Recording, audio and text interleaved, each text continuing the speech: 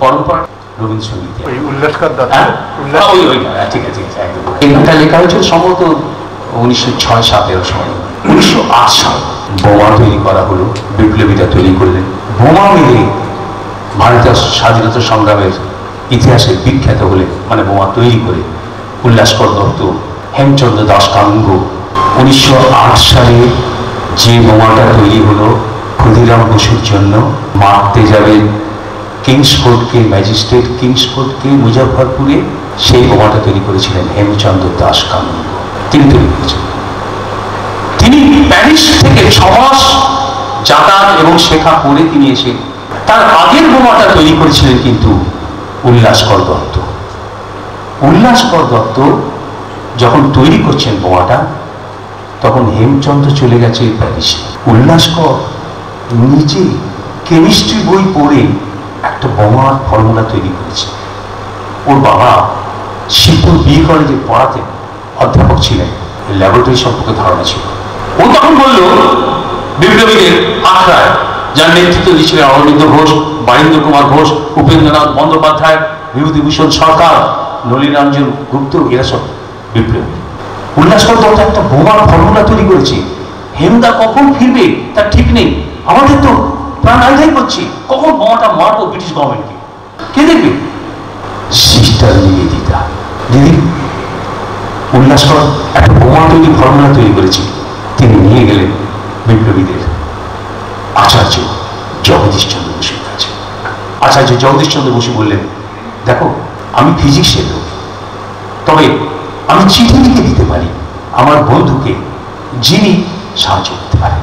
তিনি চিঠি আচার্য প্রফুল্ল চন্দ্র রায়কে। চিঠি পড়ে উনি বললেন, ও এক্সপেরিমেন্ট হয় তোমরা এই আমার ল্যাবরেটরিতে এক্সপেরিমেন্ট করবে। কিন্তু গোপনে রাতে করবে আমি আপনাদের ভাবতে অনুরোধ করছি, কত বড় বিপ্লবী ছিলেন আচার্য জগদীশচন্দ্র বসু এবং আচার্য প্রফুল্লচন্দ্র রায়। এই একটা ঘটনাতেই আমরা বুঝতে পারি। এক্সপেরিমেন্ট চলল। অবশেষে তৈরি হলো একটা বোমা। যে বোমার ফর্মুলা তৈরি করেছেন উল্লাসকর দত্ত, যার জন্ম এইটিন এইটটি ফাইভে এই বোমাটা টেস্ট করতে হবে নেতৃত্ব দিলেন বারীন্দ্র কুমার ঘোষ, অরবিন্দ ঘোষের ছোট ভাই। সঙ্গে বিভূতিভূষণ সরকার, নলিনী রঞ্জন গুপ্ত, প্রফুল্ল চক্রবর্তী এবং উল্লাসকর দত্ত পাঁচ দেওঘর একটা জঙ্গল, যার পাঁচ কিলোমিটারের মধ্যে কোনো ডোমেস্টিক এলাকা নেই। সেই জঙ্গলের ভেতরে টেস্ট করা হবে। বোমাটা ফাটে কিনা? কতটা ফাটে? ঠিক হলো। এই বোমাটা ফেলবে। প্রফুল্ল চক্রবর্তী। আর বোমাটা যেহেতু তৈরি করেছে উল্লাসকর দত্ত সে সামনে থাকবে। কেন এক্সপ্লেন করতে? বাকি তিনজন গাছের মাথায় উঠবে ওপর থেকে দেখবে এটা কতটা কার্যকরী হচ্ছে বোমাটা। সবাই যে যার পজিশন নিল। ফেরা বিভূতিভূষণ সর নলিনরঞ্জন গুপ্ত বলছেন আমি দেখলাম একখানা ফুলকি উড়ে চলে গেল। তারপরে আকাশ ফাটানো শব্দ। তার সামনে দশ কিলোমিটার পর্যন্ত সে আবার পৌঁছে গেছে। তাড়াতাড়ি নেমে এলাম। নেমে এসে বলতে লাগল সাকসেসফুল সাকসেসফুল আমাদের বোমা তৈরি সাকসেসফুল বলতে বলতে নিচে যখন নেমে এলাম, একই দৃশ্য দেখছি। উল্লাসকর দত্ত বসে রয়েছে আর তার কোলে শুয়ে আছে প্রফুল্ল চক্রবর্তী যে বোমাটা মেরেছিল। একটা পাথরের গায়ে। প্রফুল্ল চক্রবর্তী ছিন্ন ভিন্ন হয়ে গেছে।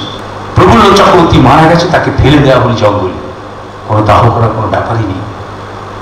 উল্লাসকর দত্তকে তুলে নিয়ে এসে রাতের ট্রেনে কলকাতায়।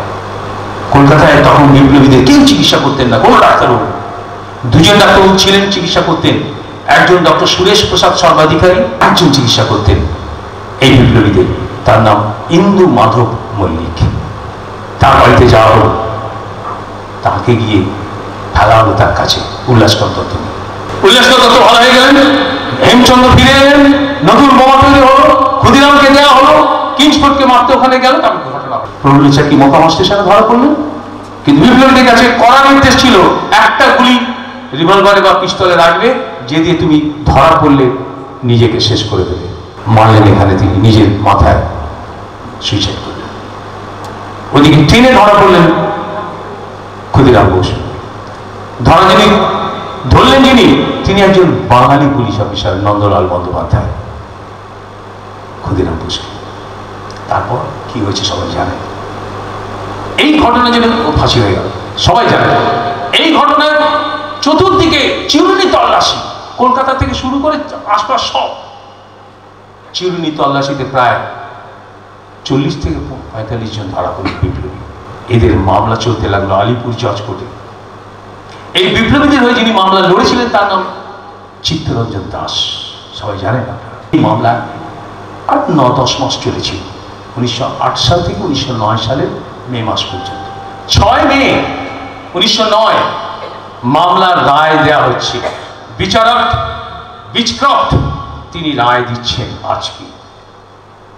চতুর্দিকে ভর্তি মানুষ পিলপিল করছে। রায় পড়ল। বিচক্রফট রায় দিলেন। দুজনের ফাঁসি পনেরো জনের যাবজ্জীবন কারাদণ্ড আন্দামানে, আর বাকিরা বেকসুর খালাস। যে দুজনের ফাঁসির হুকুম হয়েছিল, একজনের নাম উল্লাসকর দত্ত, আর দ্বিতীয় জনের নাম বারীন্দ্র কুমার ঘোষ। উল্লাসকর দত্ত, আপনাকেও আমি ফাঁসির হুকুম দিলাম। আপনি কিছু বলবেন? হ্যাঁ স্যার, বলব স্যার। বারিন্দা যেমন বললেন আমি একমত বারিন্দার সঙ্গে। আমি বুঝতে পারছি এখন, আমি আমার দেশ মাতাকে আমি ভালোবাসতে দিচ্ছি আর একটা অনুরোধ রাখব, স্যার। আপনি স্যার, ফাঁসির তারিখটা একটু তাড়াতাড়ি করে দেবে, স্যার, আমার আর কিছু বলবেন? হ্যাঁ স্যার। স্যার, আপনি আমাকে এই এজলাসে দাঁড়িয়ে একটা গান গাইবার সুযোগ দেবেন, স্যার? চুপ করে গেলেন। দু মিনিট চুপ করেছিলেন তিনি। এই অনুরোধটা রক্ষা করা যায় কি না চুপ করে আছেন দু মিনিট পরে বললেন কি গান গাইবেন স্যার আমি রবিবাবুর একটা গান গাইব। ইউ মিন রবীন্দ্রনাথ টেগোর হ্যাঁ স্যার। ও চল্লিশ সেকেন্ড চুপ করেছিল। বিচক্রফট বিচারক। চল্লিশ সেকেন্ড পরে উনি বললেন আপনি গান যে গানটা গেয়েছিল আমি সেই গানটা এখন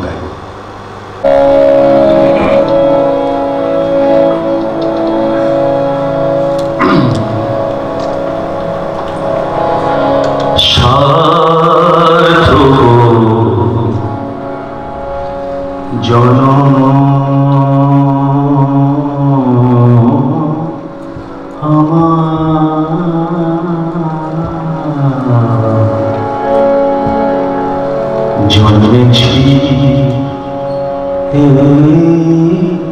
দেশে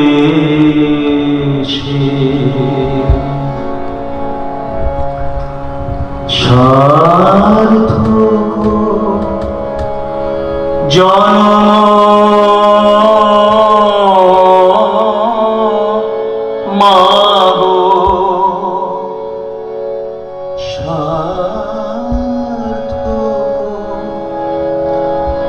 জন্ম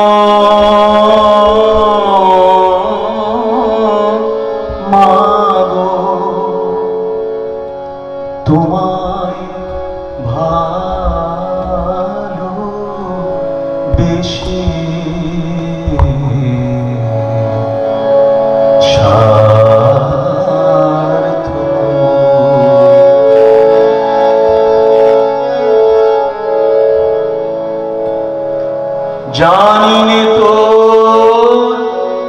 ধন।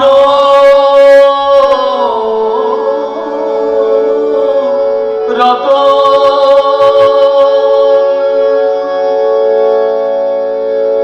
আছে কি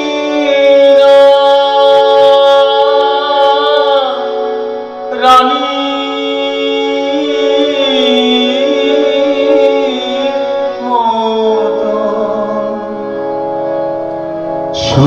জানি আমার অঙ্গ জোড়ায়